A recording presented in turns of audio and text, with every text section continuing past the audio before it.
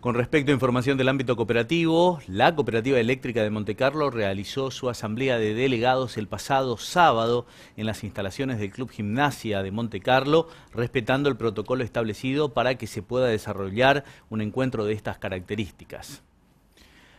El secretario del Consejo de Administración, Juan Carlos Perotti, destacó la gran participación de los delegados, todo se desarrolló conforme a lo planificado y es así que hoy la cooperativa se encuentra totalmente regularizada al día con la aprobación de los dos últimos ejercicios contables. Con respecto a la definición de cargos del Consejo de Administración, esta celebración tuvo lugar anoche también en la cooperativa eléctrica y ya se definieron los cargos. Rubén Stockmayer continúa como presidente. Compartimos la entrevista que logramos con Juan Carlos Perotti. Eh, la asamblea se realizó el sábado 29, tuvo una concurrencia realmente notable de, delegados. Eh, nosotros pensábamos que iba a, ir mucho menos gente.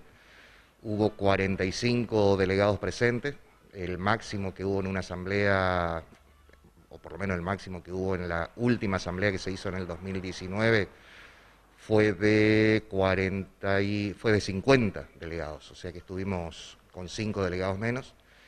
Eh, así que, mm, bueno, se hizo una asamblea muy rápida, teniendo en cuenta que se iban a, aprobar dos ejercicios, el del 2019 y el del 2020.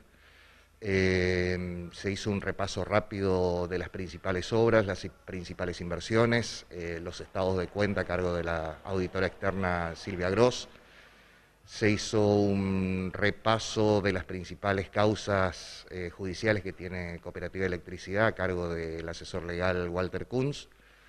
Eh, bueno, la Asamblea aprobó los dos balances, así que realmente el resultado fue satisfactorio y hoy la tranquilidad de que volvemos a tener eh, toda la documentación en orden, los dos ejercicios cumplidos, así que en este momento nuestra cooperativa está al día con todo.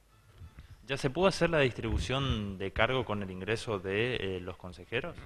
Sí, eh, ayer a la noche se cumplió con eh, la primera reunión de consejo después de la asamblea, donde se hizo la distribución de cargos. O sea, como siempre, esta primera reunión que se hace después de una asamblea es abierta y dirigida por el síndico en los primeros pasos, teniendo en cuenta que no hay cargos electos. Eh, no hay presidente, no hay secretario, no hay nada.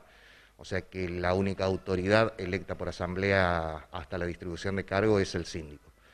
Eh, don Mario Escurra inició la reunión hasta que comenzaron las postulaciones, se comienza siempre obviamente por el presidente, eh, fue reelecto en forma unánime Rubén Stockmayer por un periodo más como presidente de la Cooperativa de Electricidad y a partir de ese momento ya continúa eh, la reunión presidida por eh, el presidente electo.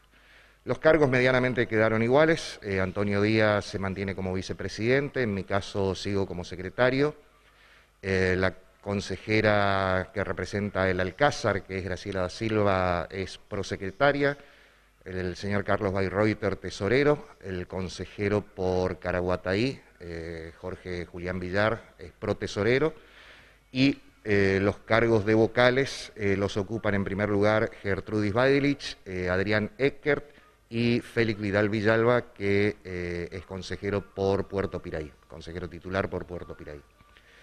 En el caso de los suplentes, se aprobó la lista en el mismo orden que se presentó en la Asamblea, de la misma forma. se le dio el ingreso a tres consejeros nuevos, Celso Zacarías, Felipe Santiago Cantero y César Alberto Carballo. Uno es de Piraí, uno es de Caraguataí y el otro es de eh, El Alcázar. Eh, eh, síndico titular fue electo por asamblea el señor Mario Escurra de Piraí y como síndico suplente el señor Juan Urloff por Montecarlo.